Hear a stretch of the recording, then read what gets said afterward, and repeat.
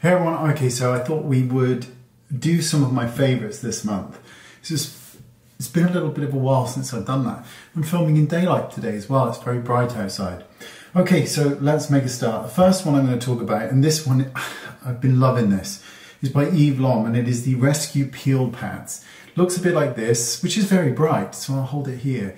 And it contains 60 pads, which is actually 30 more than a lot of other companies course, it's a high-end product, but the fact that I get double the amount that I've got from other brands that I've loved, like Dr. Dennis Gross, etc., makes me feel it's worth it. Pads are, look how bright that is. The pads are pre-soaked. Now, for somebody like me that uses an exfoliant about once a week, these last me a year, so it's an absolute bargain for me. Of hydroxy acids, beta hydroxy acids and polyhydroxy acids. Some people have said that they're a little bit too strong. I haven't felt that myself. I find them excellent. And the fact that this will last me a year is absolutely perfect. Let's talk about eye primers. So the company called P. Louise, they make incredible eye primers, which also double up as a concealer if you really want that kind of coverage. They come in a range of colors, which is great. And they look like this and they're really, really good. I mean, truly, they're very, very good. And eyeshadow adheres to them and intensity is definitely there with them. The only issue is, is I find the website really, really difficult to navigate. It isn't, it's just not easy. It's not like you've got eyebrow or lip or, it's just all over the place. And you don't you click on one and it's that color but you have to go to another page to find another color. It's very confusing to me unless i'm doing it wrong.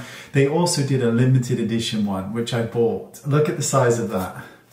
That is 330 mils worth of eyeshadow primer in there. Absolutely crazy to buy that but i couldn't help myself. Bought it a couple of years ago. Um, okay foundation what i'm wearing today on my face for this video is fenty beauty I'm wearing this one and I'm wearing shade 260 and it is the Pro Filt'r Soft Matte Longwear Foundation. I really like it. I think it looks really, really good.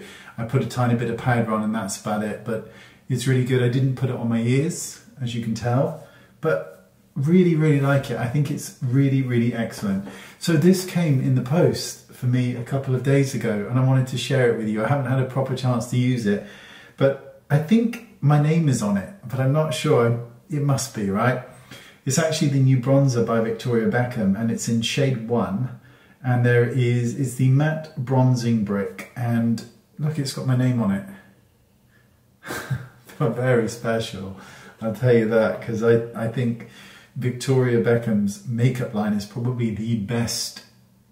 I would say it's better than Charlotte Tilbury out there. I think it's really, really good. If you're looking for that really high end, I mean, mine's the best, but if you're looking for the highest end products, then I think it beats Tom Ford, in my opinion. This is it. This is shade one, which would be perfect for my skin tone, by the way, because, you know, I, am not overly a fan of overly bronzing somebody's face, so this is perfect for me. Um, both of them are matte textures, and one is considered a a contour and one is like a warm. So very similar to my palette actually. Uh, that's some swatches quickly for you. Glorious. But the, the, the whole the whole thing about it just feels so classy. Um, it contains 9.6 grams of product. Now speaking of Victoria Beckham, I am gonna, I've already talked about this one before, but I wanted to mention it again because it's one of the most subtle mascaras on the market. And the the applicator one looks like that. It's really quite tiny but it is just the most beautiful mascara. If you're looking for a really subtle effect lots of people have done reviews on it here. Far better than my terrible lashes would ever be able to convey. Now a friend of mine said I should get this because speaking of terrible lashes, it's I think it's called Mavala and it is a double lash for longer, fuller, stronger lashes and it's like a lash growth serum I guess. I've never used it before and I've only just started but I'll put a link in the description bar. Let me know if you think this is any good because I think it'd be interesting and I think we'll end on a high note. So this is one of my all-time favorite glosses. It is Antique Rose and it is the most beautiful, beautiful color.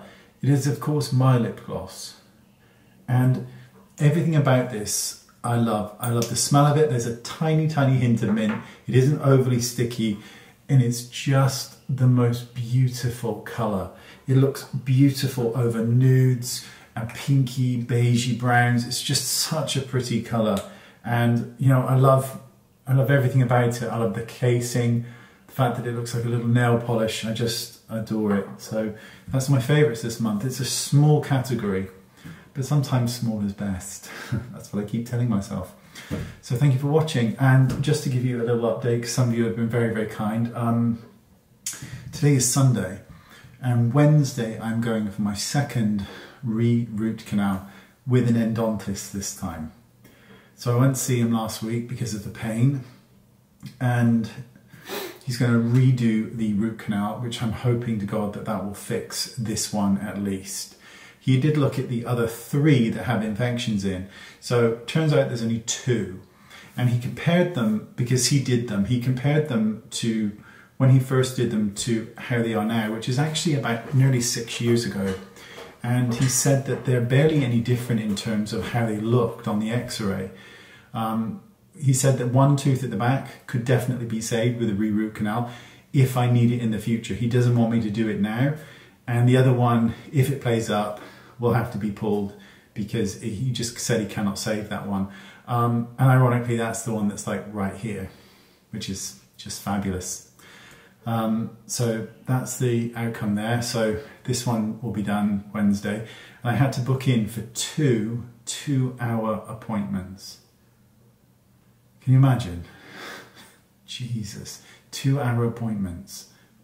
That's just, anyway, so yeah, I'm doing that and hope I'm hoping with everything that on the 21st, this one in the front, when the proper ones are put in, it will stop the pain that I've got there because there is a sensitivity issue here that is extreme at the moment. Anything cold, so I can't use mouthwash at the moment. When I'm brushing my teeth, I've got to make sure that it's run under really warm water because it's going right through it and then the whole teeth just vibrate with this um, just awfulness just awfulness. It's been such an awful year so far. Not fun. Anyway so thank you for your kind comments. Um, you're, you're all very very sweet and I really do appreciate it. And um, let me know what you think of these products I think they're quite lovely really do Thanks for watching. I appreciate your time more than you know, and I will see you all soon. Bye bye.